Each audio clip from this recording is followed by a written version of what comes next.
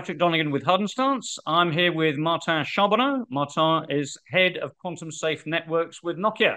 Martin, how are you doing today? Hey, fine, Patrick. How about you? Very well indeed. Looking forward to the conversation. Indeed. So, uh, we're here to talk about quantum safe networks and what Nokia is doing in that space. Let's begin. Uh, until a few weeks ago, we had China, South Korea, and the US all building their own post quantum crypto algorithms, PQC algorithms, to protect against quantum computers that are powerful enough to break contemporary encryption standards. On April 11th, the European Commission went and published a recommendation. The recommendation was that the EU should develop its own PQC algorithms as well. What do you make of that? What does that do in terms of changing the overall landscape for post quantum safety? well, sir, uh, Patrick, this is an interesting first question indeed, right? So, first, let's look at the good things out of this, right? So, we're seeing global awareness towards the adoption of post quantum cryptography. Um, this is needed as a response to, you know, scale quantum computers that can break the existing PKI based encryption. And right. really, this type of encryption is crucial for end to end data privacy and security in the long run.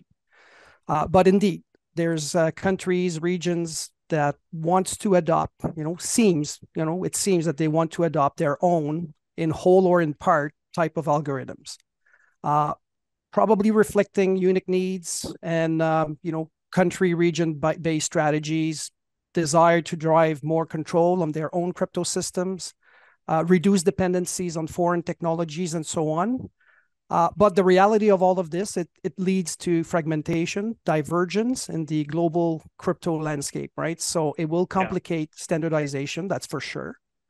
Um, but you know, I do believe that this movement that we see also underscore the need for international cooperation and standardization activities. Uh, and I take note as well on the UE Commission paper that you referred to, uh, the roadmap to PQC.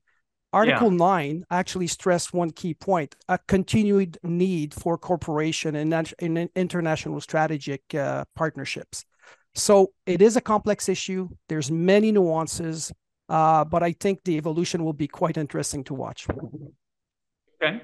Um, so if you take the telecom market, which is obviously Nokia's uh, core market, um, new security requirements are both a cost and a revenue opportunity. Let's talk in the first instance about the cost side of the equation. So Nokia has an established uh, security consulting business. Um, what can you offer telcos in terms of helping them audit their cryptographic assets, prioritize their investments, and build a roadmap that has crypto agility built into it? Right. Well, indeed, we do have a uh, within the Nokia Network Infrastructure Business Group, we do have a network security uh, services practice, like you said, and it's built on the networking pedigree of the corporation, the international presence, and our very focused domain expertise, which is connectivity.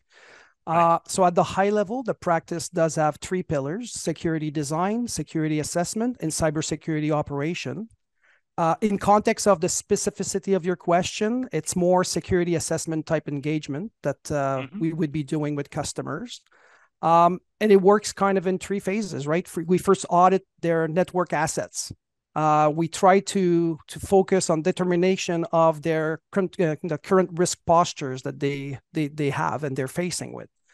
Uh, with these findings, we then, you know, in alignment with the customer, prioritize their investments, and actually see what type of action will lead to change and strengthen the security posture. And of course, the last step is we build the appropriate roadmap and then deliver optimized mitigation and design practices so that it can be implemented over time. So it's a truly, you know, uh, partnership driven type of engagement. In addition, in our engagement to focusing on the quantum safe cryptography aspect, we also look at the overall security aspect of the management plane, the data plane, and the control plane. Remember, we are connectivity experts, right? So in that context, our network security practitioners are really committed to remain on top of this evolving threat environment, specifically true in the era that we're entering, the quantum era. Right, that's right. So let's talk then about the, the revenue opportunity. So I know when we spoke recently, we, we met at the uh, the Quantum Safe um, uh, event in, in Paris, which was a very good event. Um, uh, so you have a vision of quantum safety as a very particular new kind of business opportunity for telcos, and you call that private managed build services. So where telcos currently serve a, a small subset of businesses with premium encryption services today, you see the quantum safety opportunity as one which telecom operators can capitalize on to deliver private managed build encryption services to many, many more business customers than they currently do. Tell us about that. Articulate right, that right. vision for us, yeah, if you would. You know, okay, well, yeah, absolutely. So, look, managed private builds are not really new to telecom operators or managed right. service providers, right? So, we tend to think a lot about telecom operators from a retail connectivity services, but the reality is they do have bespoke type solutions for specific curated enterprise segments. So, absolutely true what you said. My my vision is that when we talk about quantum safe connectivity, uh, it does present an opportunity for telecom operators and managed service providers to actually focus on delivering, you know, network level encryption to set of, you know, enterprise segments like banking, financial services and insurance, BFSI, healthcare, defense, utilities, and other mission critical infrastructures. These segments, mission critical infrastructures, are really accustomed to, you know, curated, managed type solution, high touch services. Um, the the reality is telecom operators can actually start differentiating today with curated private connectivity offering or connectivity uh, you know network quantum safe connections quantum safe data center interconnect quantum safe cloud access and start the journey for the industry with curated solution and then evolve over time to retail connectivity services so the whole nine yard is all about having a complementary network level encryption that complements the application level type encryption, which we'll know will use the PKI based PQC that we just talked about. Mm-hmm. So the point of this vision is we can start today. Operators can start today, one link at a time, you know, many links at a time, and a sub network at a time, curated to a specific set of customers per industries, and actually helping them start their transformative journey towards quantum safe readiness. That's it. So, so okay. So, how is how is Nokia actually going to execute on that from a portfolio perspective, from a delivery perspective? How are you going to enable operators to actually realize what you've just described? Yeah, exactly. So, for us, you know, the the the approach is really with regards to the quantum threat, right? The approach is we're leading the engagement with these operators uh, and enterprises, you know, from an outcome-based solution. And it happens that the the name of the solution itself is quantum safe networks.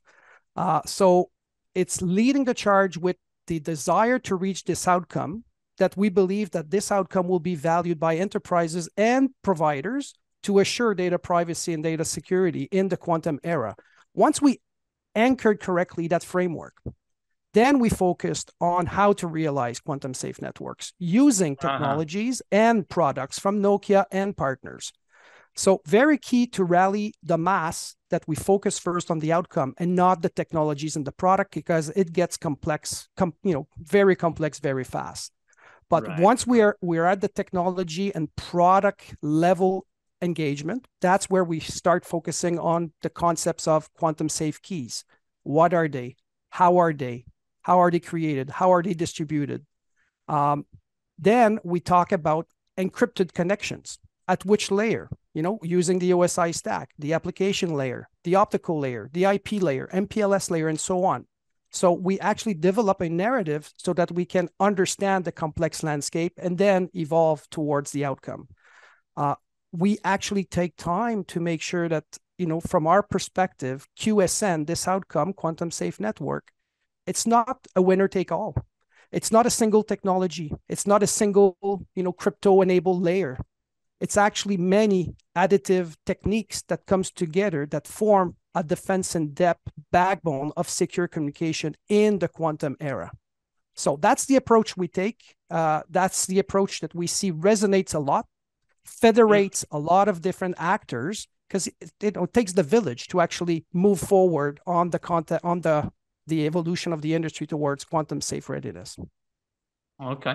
Now let's uh, let's look at Nokia's uh, look at this from a, a Nokia portfolio perspective. Nokia obviously has mm-hmm. an incredibly broad uh, product portfolio. What does the post-quantum uh, safety migration look like from a from a from an internal perspective, from a Nokia product management perspective? Right, where do you right. start? How do you even figure out where to start? and what principles do you bring to that migration across the portfolio? Yeah, that's a very good one as well. Very good question, Patrick.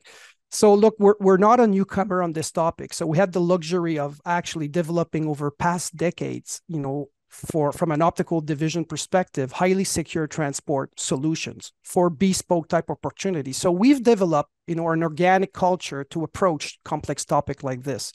So let me tell you, like in three phases, what the way we do it and the way we see how we can propagate this throughout our overall portfolio ecosystem here at Nokia. So first, we focus on our people. You know, it all it is a people game at the end, right? So it starts with people. So focusing, you know, on keywords and key concepts. Like what do we mean when we say quantum safe connectivity? What do we mean when we say defense in depth with layered cryptography? where we apply network level encryption at IP and or optical and complement application level encryption. What are the nuance of all of this? What do we mean by we when we say quantum safe resiliency, where we, we focus on the usage of mathematics-based quantum safe encryption, but also physics-based uh, crypto system with classical physics and this evolution towards quantum uh, key distribution. So the first step is really establishing a common language, a baseline understanding. And let me tell you, this this demands a lot of effort. But once we we tackle that first step, then we focused on this outcome-based framework that I talked about. Uh, we we rally the groups uh, by focusing first that there is an outcome that we need to strive to achieve. Uh, we're not again starting with technologies or product portfolio. We're focusing on the outcome. And then we apply our portfolios of products, our portfolios of products, and the enabling technologies to realize that outcome. By that approach, we see that that federates a lot of people. We gain, you know, in common understanding, and we actually rapidly advance towards realizing the outcome. Uh, we also this approach also helps demystifying the interplays between different technologies and different products. It also helps us identifying that for realizing the outcome, we actually need to, to actually welcome complementary technology and product partners inside of our ecosystem for our enterprises and service providers to realize right. the maximum of that outcome as well. So an outcome-based type approach framework. And third, thirdly, we focus, right? You need to bring focus from a go-to-market perspective. And that's where I go back to the managed private build managed private connectivity. It's not the only point, but I truly believe that that's a nice insertion point, a rapid acceptance in the industry, and developing proof points upon which the industry can veer towards adopting quantum safe connectivity.